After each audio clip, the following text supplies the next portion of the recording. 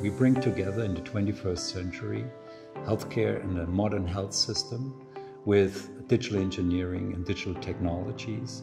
And we do so through the Hasso-Plattner Institute for Digital Health at Mount Sinai. It will be a true privilege to work with Thomas Fuchs, one of the world's most formidable computer scientists with so much achievement already in applying AI in health and healthcare. Mount Sinai certainly stands out of all the large healthcare systems in their spirit, in their forward-looking initiatives and efforts.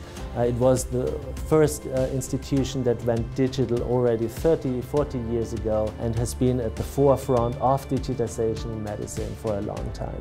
There are a lot of very valuable AI initiatives already at Mount Sinai uh, be it the COVID Informatics Center, watches that, for example, track physicians and patients, but also in the data analysis side, so in pathology, in cancer research, to build systems at a larger scale.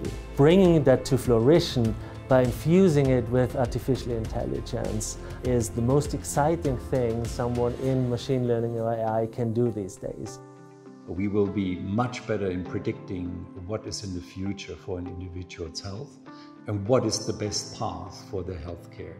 And so this is the vision for the Institute, that we bring together the science and the knowledge we can gather out of data together with the knowledge from health and healthcare and chart a much more precise, much more productive way for managing health and disease for individuals. I'm really looking forward to working with Thomas, and I believe that Thomas at Mount Sinai, great institution as Mount Sinai, we will achieve new heights for better care for our patients.